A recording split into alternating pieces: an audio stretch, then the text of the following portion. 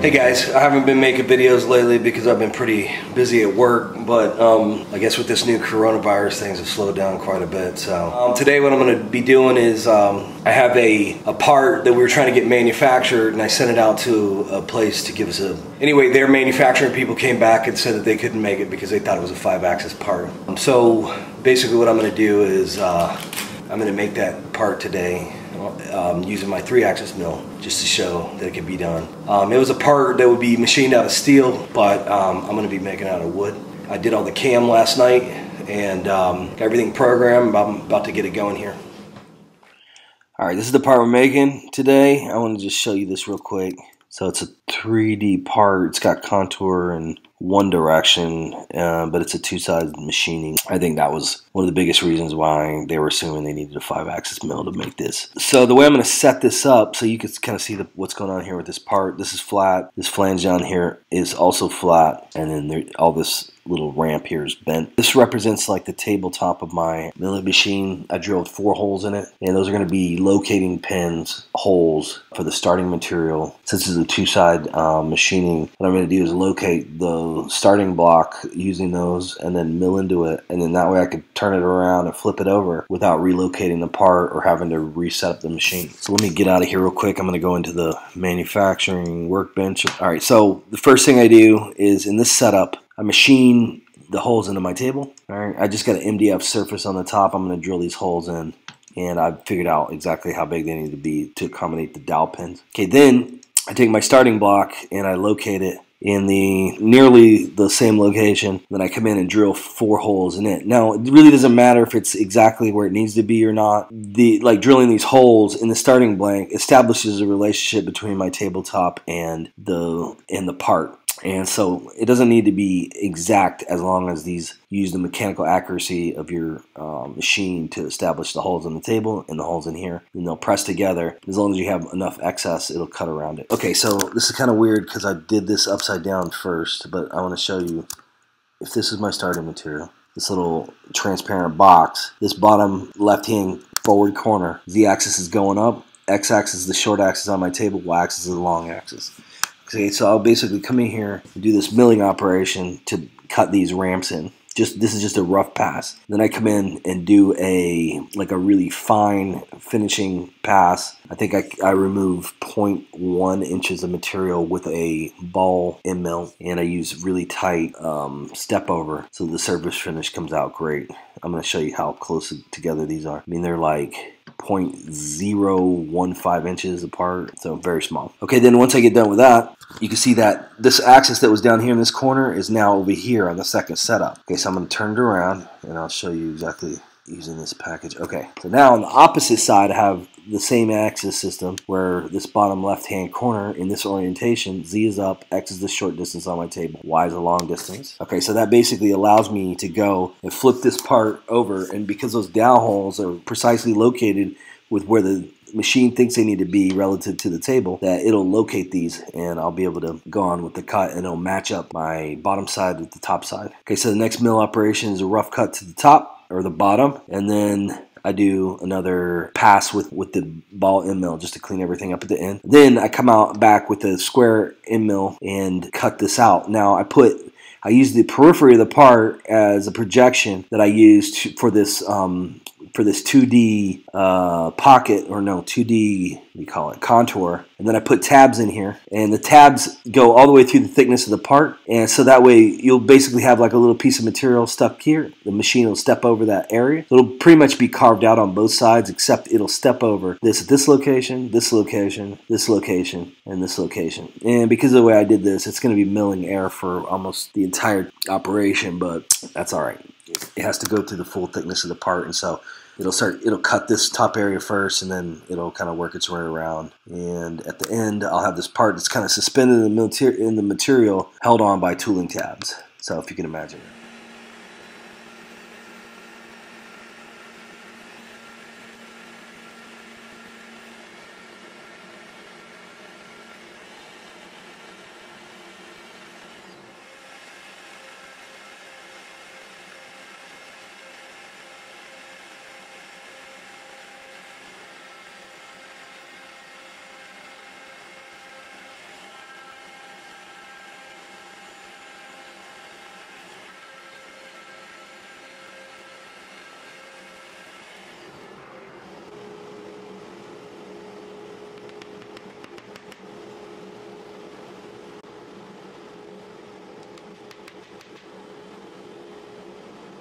So this right here shows the dowels. Um, they're located in holes in the table here, here, there, and there. Another thing these provide is they take up kind of the shear that you're getting from the machine, like roughing through the material so that it doesn't start, start rocking around and give you some like mechanical, you know, deviation just from the stock moving around and it'll help to keep it located.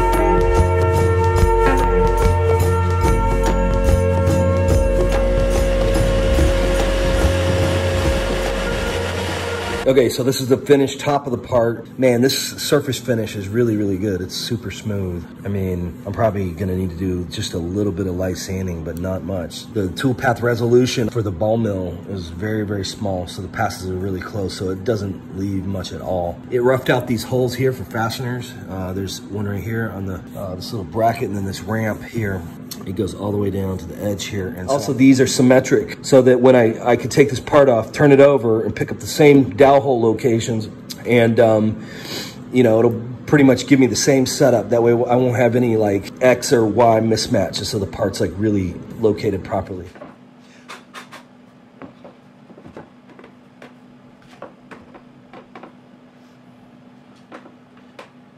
Okay, I found a problem.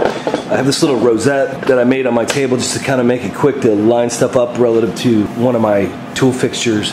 And I guess my stock may be a little bit out of square, so one of the corners is hitting this thing. But this kind of illustrates the reason why you need to use dowel pins because it um, basically creates a new axis system that isn't based on the part geometry but features that you establish with the CNC mach machine. And so the, the holes are close tolerance located relative to the machine in the same setup. So if your material's a little out of whack, like if I tried to float this in with, um, you know, like some kind of indicator or whatever, it would be picking up an edge of your part. And if your part is not perfectly sized and perfectly square, it'll induce error. So the way I did it this way, what it does is it uses the mechanical accuracy of the machine to establish X, Y, and Z coordinate. Okay, so what I wound up doing was just loosen these bolts and I took these drywall screws out here that's securing this down and this thing wiggles around enough that I was able to get enough clearance to make it so that this part could slide down on those pins. So, so it's located now relative to where the machine thinks it is. Everything's engaged.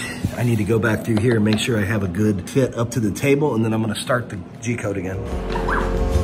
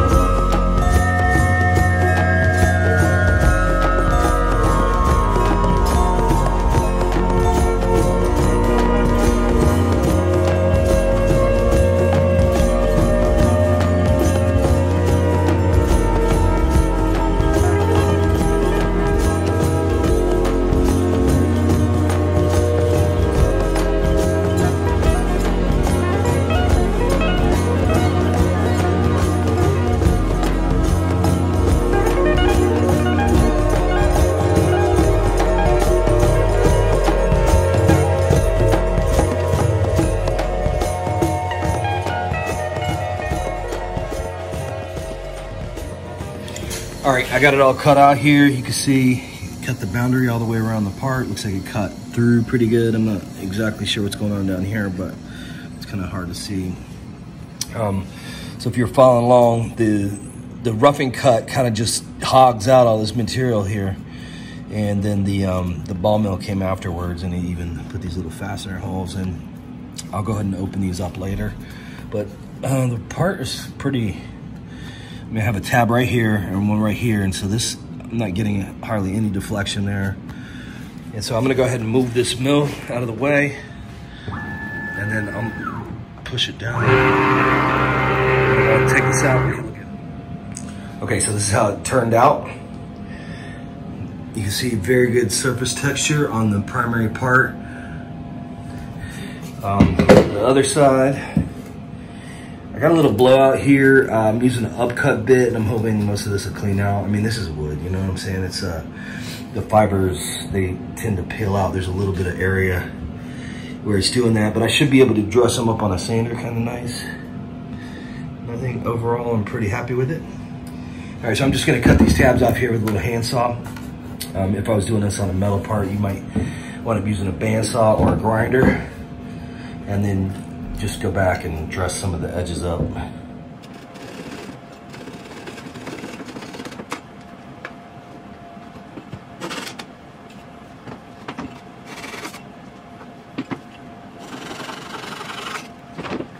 All right, I got this part dressed up. I'm gonna show you what it looks like. So it's got compound curvature in this direction.